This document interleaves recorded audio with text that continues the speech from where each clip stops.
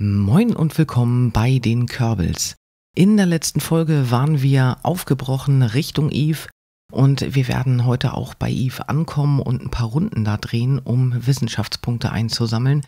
Jetzt sind wir aber gerade noch dabei, die Inklination anzupassen und ich bereite gerade das entsprechende Manöver vor. Was wir dann auch noch vorhaben, das wird allerdings nicht mehr in dieser Folge geschehen.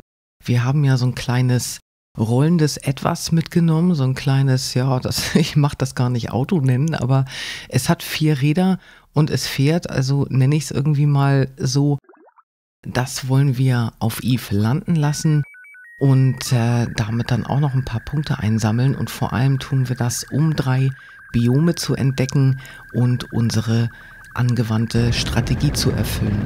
Das kommt aber noch nicht diese Folge, das kommt wahrscheinlich erst in der nächsten. Jetzt müssen wir erstmal zusehen, dass wir bei Eve ankommen. Und wie wir sehen, passen wir hier gerade wunderschön die Inklination an, bis sie möglichst auf Null ist und dann können wir uns weiter auf den Weg machen.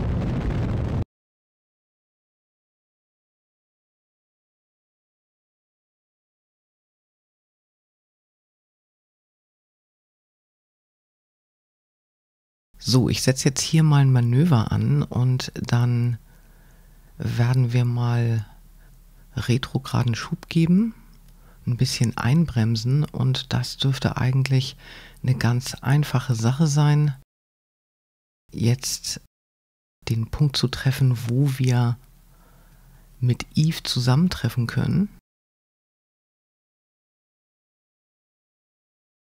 Da haben wir schon die zwei Marker und die werden jetzt sich immer näher kommen.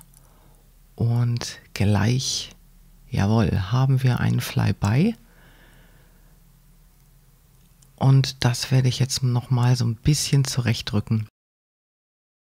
Ich möchte auf jeden Fall einen Polarorbit haben, wie eigentlich fast immer, wenn ich versuche, möglichst viel Wissenschaftspunkte abzugreifen, weil sich Eve dann quasi unter uns durchdreht und wir so ganz bequem an alle Biome kommen, ohne unseren Orbit irgendwie nochmal verändern zu müssen.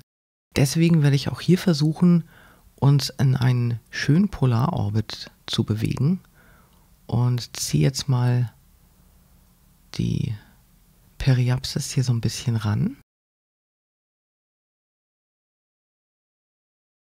Das sieht schon mal ganz vielversprechend aus. Das müssen wir natürlich noch so ein bisschen gerade ziehen, aber das ist so schon mal gar nicht so schlecht. Und wir können auch später natürlich noch so ein kleines Korrekturmanöver, falls es nötig sein sollte, machen. Das ist alles kein Problem. Ich würde sagen, so ungefähr um und bei können wir es lassen. Genau so sieht es ganz gut aus, finde ich.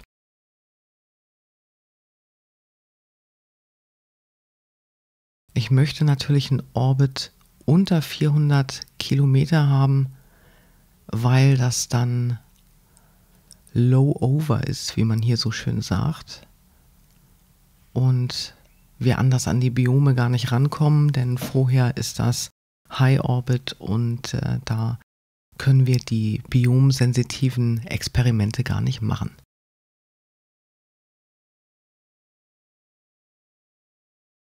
Ich manövriere jetzt erstmal retrograd und dann geben wir Schub und lassen den Schub so weit durchlaufen, bis wir die guten 1300 Delta V verbraucht haben. Und äh, ja, dann sind wir eigentlich schon quasi zumindest an Eve, aber wir müssen dann natürlich auch noch einen Orbit machen. Das heißt also, wir werden noch eine ganze Menge Delta V brauchen. Wir haben aber genug mitgenommen. Alles ist gut.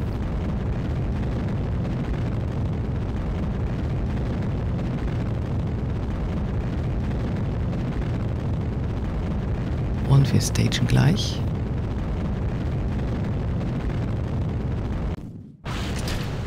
Staging completed.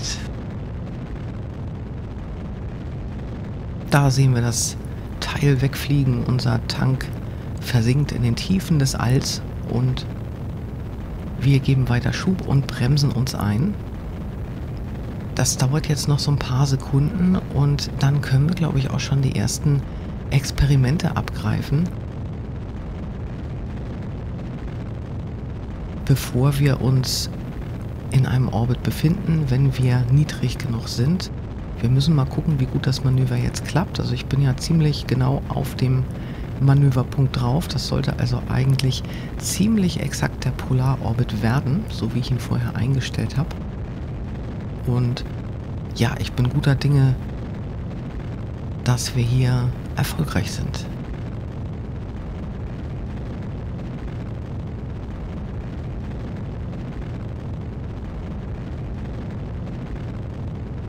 Was ich natürlich auch wahnsinnig gerne ausprobieren würde, was ich bisher noch gar nicht angetestet habe, das wäre eine Landung mit Kerbal auf Eve.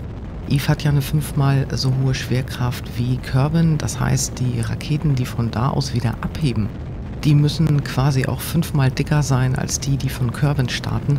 Da könnt ihr euch ja vorstellen, was man von Kerbin losschicken muss für ein dickes Schiff, damit äh, hier genug ankommt, um das wieder in die Luft zu jagen und zurück zu körben. Und das Ganze macht es natürlich nochmal schwieriger, wenn man einen Körbel dabei hat und mit Live-Support spielt. Das heißt also, ich müsste natürlich genug Strom mitnehmen, genug Happy Happy. Das heißt, Snacks dürfen natürlich auch nicht fehlen. Und äh, Habitation muss natürlich auch gewährleistet sein. Und das dürfte extremst schwierig werden. Also äh, das ist, glaube ich, wirklich kein einfaches Unterfangen. Und das wäre ja so quasi, ja, ich würde sagen, die, die Endaufgabe, die ich mir stellen würde, das zu schaffen, einen Flieger zu bauen, der mindestens einen Körbel nach Eve bringt, der wieder abheben kann, den Körbel nach Hause bringt. Also von mir aus einfach nur in den Orbit von Eve und da kann er wieder andocken und dann nach Hause. Das ist mir egal, aber der Kerbal müsste einmal landen und wieder abheben. Das Ganze aber auf jeden Fall mit Live-Support.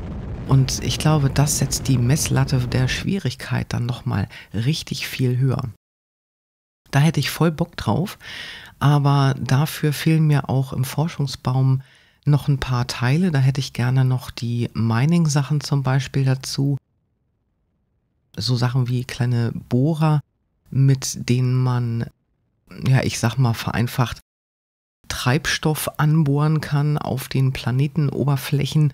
Das heißt also, man, man rammt die da in die Erde, fördert sozusagen Öl, ich sag's mal so, also Treibstoff und äh, oder wandelt das dann in Treibstoff um und füllt so dann wieder die Tanks. Das heißt also, man muss nicht mit vollen Tanks landen, sondern man kann sich durchaus da dann auch wieder auftanken. Das macht es natürlich ein bisschen einfacher. Und äh, wir haben ja noch lange nicht alles aus dem Forschungsbaum freigeschaltet. Insofern würde ich da, also wenn ich das versuche, dann würde ich da definitiv nochmal abwarten wollen. Aber genau dafür machen wir solche Sachen wie jetzt. Wissenschaftspunkte sammeln, Knete sammeln vor allem, was mir noch fehlt, das sind jetzt, ja, ich glaube, dreieinhalbtausend oder so, nee, dreieinhalb Millionen Körbel-Dollar, um das Forschungszentrum aufzuwerten, glaube ich. Die Radarstation, die könnte auch gerne mal aufgewertet werden. Also wir haben echt noch viel zu tun. Das ist ja, weil ich auf Schwerspiel jetzt auch nicht so ein Pappenstiel, also mal eben so dreieinhalb Millionen zu verdienen, also das, da muss eine alte Frau schon, schon ordentlich für stricken, sozusagen. Und äh, ja, deswegen basteln wir uns hier solche Sachen wie jetzt, damit wir irgendwann dieses Ziel vielleicht doch mal ins Auge fassen können, mit einem Körbel auf Eve zu landen, mit Live-Support und dann erfolgreich wieder abzuheben.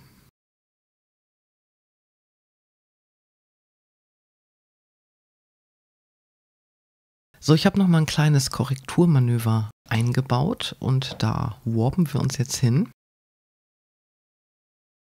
Dann sitzt das Ganze nämlich gerade über den Polen und wir können dann einbremsen und den Orbit fertig machen.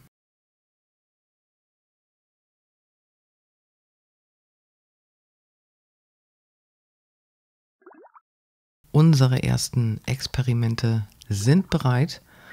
Das sieht schön viel aus, das ist es auch und das werde ich jetzt alles mal abfrühstücken.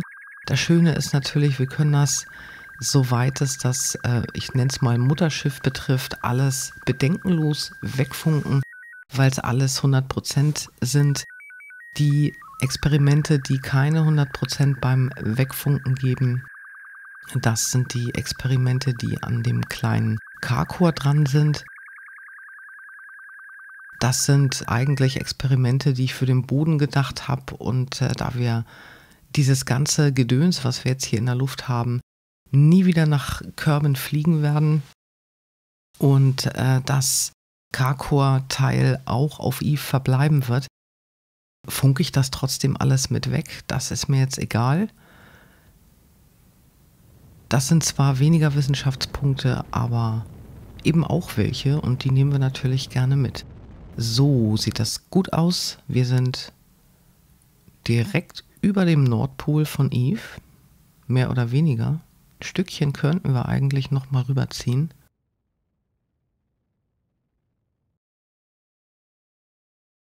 Aber man kann es eigentlich auch so lassen. Ne? Also es war jetzt nicht allzu schief. Wir können aber auf jeden Fall gleich noch mal gucken, ob sich nach Erfüllung der Aufgabe, denn den Flyby haben wir jetzt erledigt, in dem Weltraumzentrum eine neue Aufgabe für uns ergibt. So, da gucken wir mal. Genau auf das habe ich gewartet. Orbit Eve, das nehmen wir mit. Ich nehme auch Explore Gilly mit, beziehungsweise Gilly wird es, glaube ich, ausgesprochen. Das tue ich aus dem Grunde, weil Gilly der Asteroid ist, der Eve umkreist. Das heißt, wir sind quasi direkt nebenan. Und ich schätze mal, wir werden so viel Delta V im Mutterschiff übrig behalten, dass wir locker auch noch mit dem Teil später Gilly besuchen können. Und äh, deswegen nehme ich das doch gleich mit. Das äh, werden wir aber erstmal außer Acht lassen. Nur wenn es schon mal da ist, dann sacke ich das natürlich auch gerne mit ein. Ne?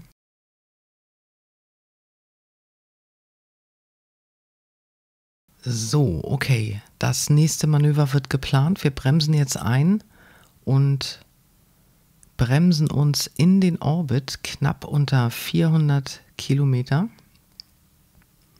aus dem wir dann die ganzen Experimente, die biomsensitiv sind, machen können. Ich habe auch schon mal das kleine nette Hilfskästchen aufgerufen von einem meiner Lieblingsmods. Da können wir uns dann genau angucken, welche Biome uns noch fehlen für das Orbital Telescope.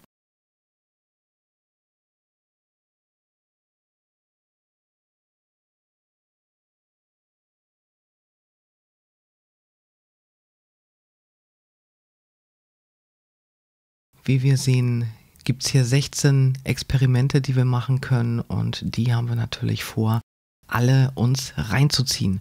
Wir sehen Eve näher kommen, wir haben Eve erreicht, sind direkt drüber und los geht's. Jetzt sehen wir erstmal zu, dass wir die Aufgabe mit dem Orbit erfüllen. Klare Sache.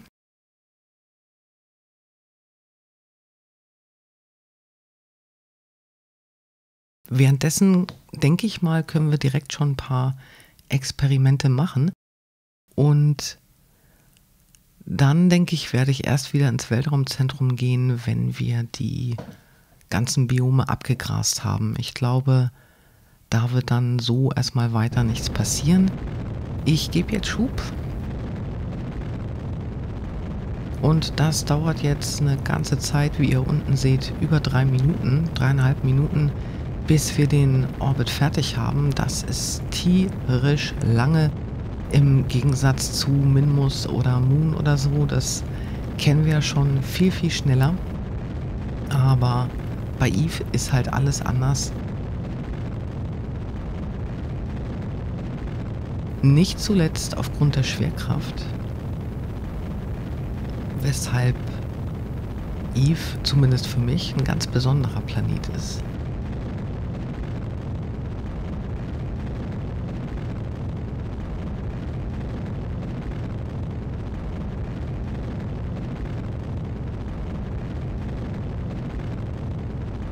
So, ich check nochmal die Aufgaben. Gilly werden wir jetzt erstmal nicht beachten. Wir müssen noch die drei Biome abgrasen. Das kommt dann in der nächsten Folge. Im Moment müssen wir tatsächlich nur den Orbit fertig machen. Das geht ja quasi von ganz alleine.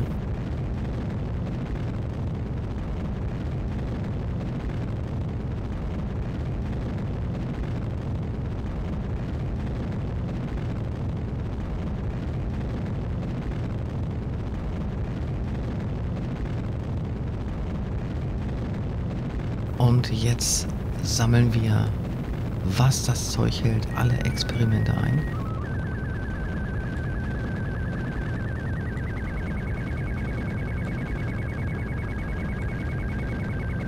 Ich bemühe mich jetzt natürlich immer zuerst, das Orbital Telescope abzufrühstücken, damit uns da möglichst schnell alle Biome ins Netz gehen.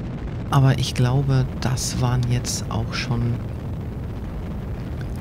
alle Experimente, die wir außer dem Orbital Teleskop machen können. Das heißt, jetzt wird wahrscheinlich nur noch das Orbital Teleskop anschlagen. Und wir haben den Orbit geschafft.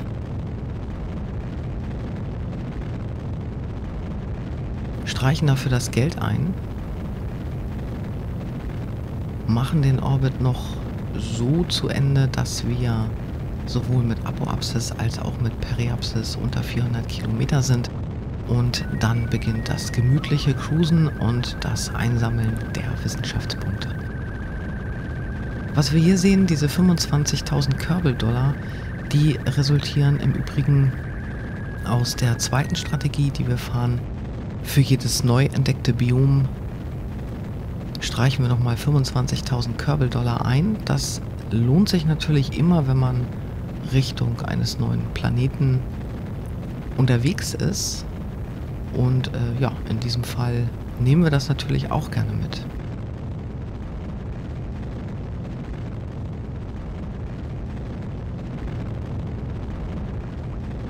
So, also mit dem Polarorbit bin ich eigentlich ganz zufrieden. Ich denke, so sollte uns eigentlich nichts durch die Lappen gehen. Wenn es nachher zu lange dauern sollte, wir müssen ja nicht alle Biome jetzt machen. Der Länder an sich, der wird sowieso im Orbit um Eve erstmal verbleiben. Das heißt, wir haben immer noch Zeit, falls Biome länger auf sich warten lassen, die später noch abzufrühstücken. Kein Problem. Aber jetzt fangen wir erstmal an, ein bisschen zu sammeln und am Anfang geht das ja meistens auch ganz fix. Da sind die Biome dicht nebeneinander, die man noch nicht hat, weil es fehlen halt noch fast alle. Und äh, ja, die sammeln wir jetzt ein.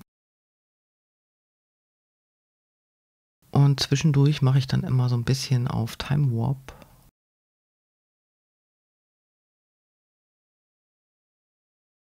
Ich hoffe nur, dass die nicht zu schnell durchflutschen, dass ich die dann auch alle erwische. Ne? Ja, so je kleiner so ein Biom ist, desto schneller bin ich dann natürlich wieder dran vorbei. Und äh, man glaubt es ja nicht, aber das kann manchmal wirklich ganz, ja, zum Beispiel da, das kann manchmal ganz schnell gehen.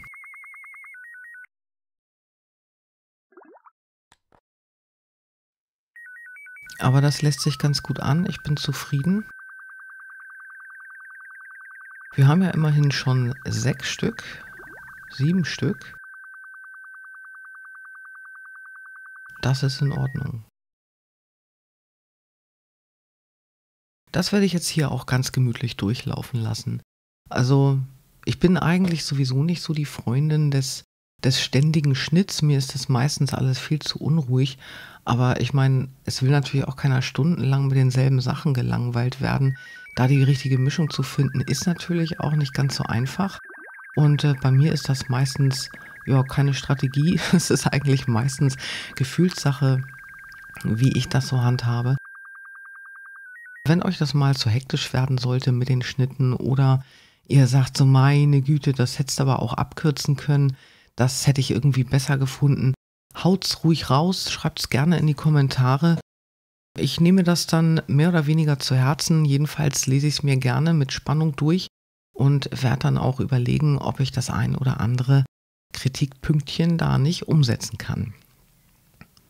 So, ein paar fehlen uns jetzt noch. Das sind aber in der Tat nicht mehr viele. Aber so früh gebe ich natürlich nicht auf. Jetzt lasse ich ihn hier noch so ein bisschen rumcruisen.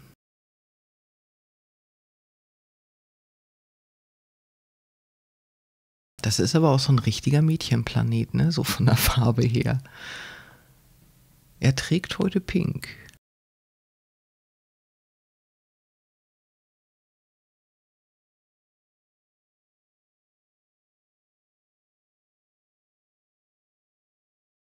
Ich frage mich ja ganz besorgt, warum wir die Meldung über 25.000 Körbel-Dollar von dieser Strategie nur bekommen, wenn wir die alte gelöscht haben es blinkt dann ja auch nichts mehr. Also wenn ich die alte stehen lasse, blinkt es bei einem neuen Biom nicht mehr. Und ich frage mich, kriegen wir das dann überhaupt? Ich hoffe ja, weil eigentlich habe ich gar keine Lust, das jedes Mal wegzuklicken. Das müsste ich theoretisch mal eruieren, aber ja, das ist so ganz weit hinten auf meiner To-Do-Liste. Eigentlich eine einfache Sache, aber ich habe da jetzt einfach keinen Bock drauf. Ja, sollte es jemand wissen, Schreibt mir auch das gerne in die Kommentare.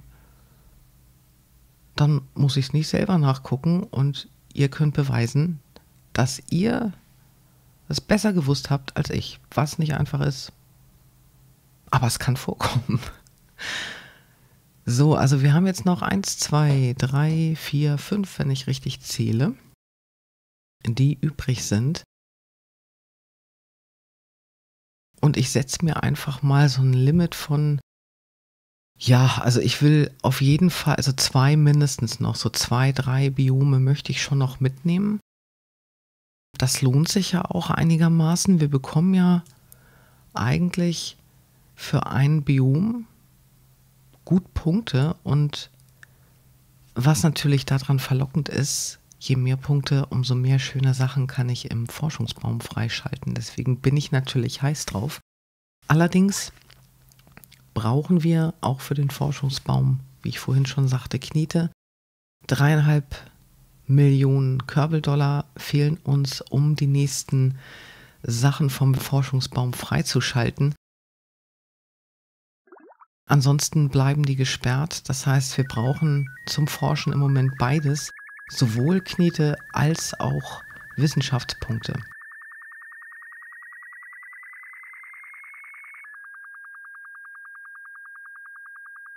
So komm, einen machen wir noch.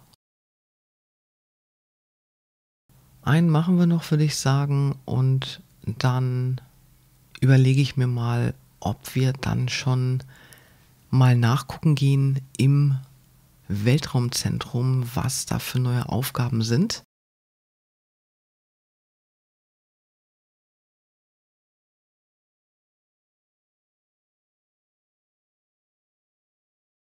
Ich hoffe ja auf eine Landeaufgabe, denn genau das haben wir in der nächsten Folge vor. Da werden wir den kleinen Lander, den kleinen Karkor, der jetzt da oben so schön im Bild ist, den werden wir auf die Körbelheit, nicht Menschheit, auf die Körbeligkeit werden wir den loslassen und mit diesem auf Eve herumfahren.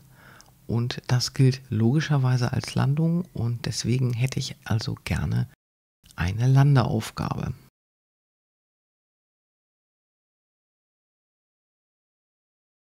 Aber komm, also ein Biom müssen wir wenigstens noch machen. Also so viel wollte ich jetzt hier auch nicht offen lassen. Am liebsten möchte ich natürlich alle machen.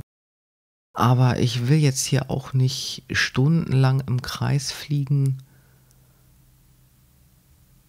und äh, drauf warten. Das ist natürlich für ein Let's Play jetzt auch so ein bisschen, ja, weiß ich nicht. Obwohl ich das eigentlich ganz schön anzusehen finde. Ne? Es ist unheimlich ruhig und entspannt.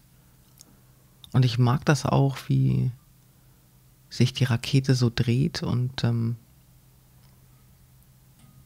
ja, weiß ich nicht. Also ich finde das eigentlich ganz cool, aber ich kann verstehen, wenn andere Leute so denken, ah, ja, nu, werd fertig, aber so wirklich hetzen lasse ich mich da natürlich auch nicht von. Ähm, Und deswegen werde ich auf jeden Fall noch ein Biom abwarten und dann schauen wir mal im Weltraumzentrum nach, was es da Neues gibt.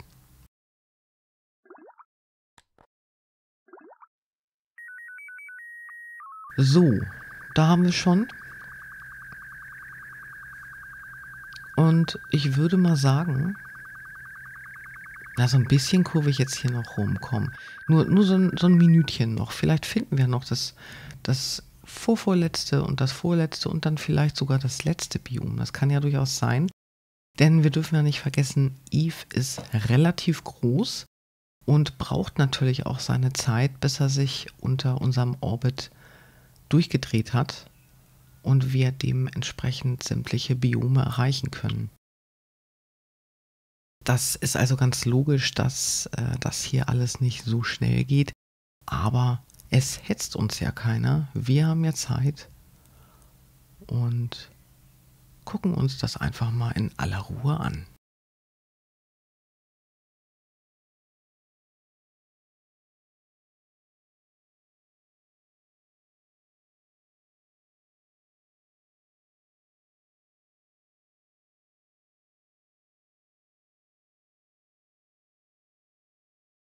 Ich könnte jetzt natürlich auch den Vorlauf schneller machen, ne?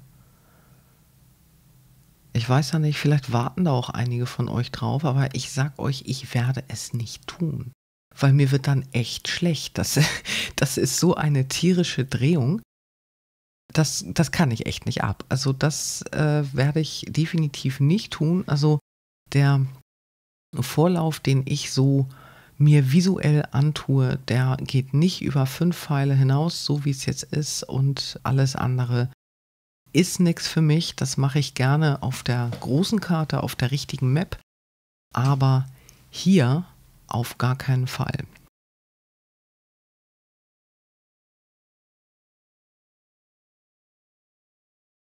So, ich beschließe jetzt, es reicht. Ich werde jetzt uns schon mal für die nächste Folge Retrograd drehen und werde auch noch mal den Fallschirm präparieren, damit ich das auf gar keinen Fall in der nächsten Folge vergesse. Und dann gucken wir noch mal schnell im Weltraumzentrum nach, ob es da eine neue Aufgabe für uns gibt.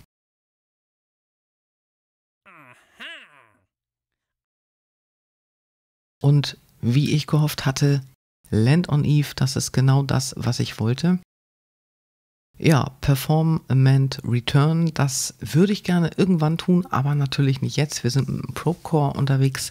Das heißt also, der ganze Rest ist für uns im Moment eher nicht zu gebrauchen. Wir haben die passenden Experimente für die Versuche auch nicht dabei. Das heißt, es wird wahrscheinlich bei der Aufgabe zu landen jetzt bleiben. Das reicht mir eigentlich auch. Und ich scrolle aber trotzdem noch mal ein bisschen runter, dass wir uns das alles noch ein bisschen genauer angucken können. Ich wollte auch nicht mehr als drei Biome erstmal abgrasen. Das heißt, diese ganzen Vierer-Dinger oder fünf sogar, die wir hier abgrasen sollen, das ist mir alles äh, zu viel. Zumindest für jetzt. Das können wir, wenn wir später Lust haben, nochmal machen. Ja, das war's. Und dann würde ich mal meinen, sind wir eigentlich gut bei der Sache und können das nächste Mal unseren Abwurf des kleinen K-Kurs beobachten und ich freue mich schon drauf. Vielen Dank, dass ihr eingeschaltet habt und bis zum nächsten Mal. Tschüss.